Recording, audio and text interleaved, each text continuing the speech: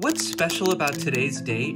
It's the backdrop of this Star Trek episode that aired almost 30 years ago, which paints a grim picture of San Francisco. Why are these people in here? Are they criminals? Just people. Without jobs or places to live. Welcome to the 21st century, Doctor.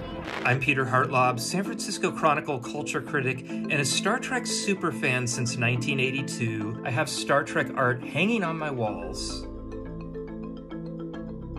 In the episode in question, crew members of a space station time travel back to the San Francisco of 2024.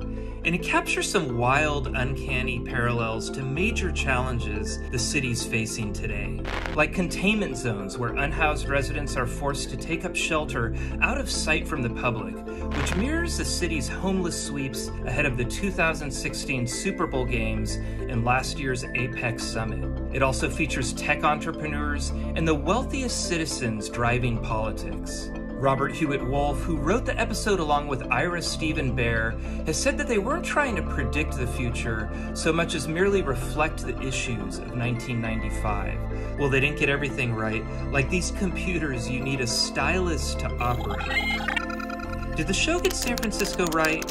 I think they were pretty close. I'm not actually bald, I just shaved my head in solidarity with Jean Luc Picard.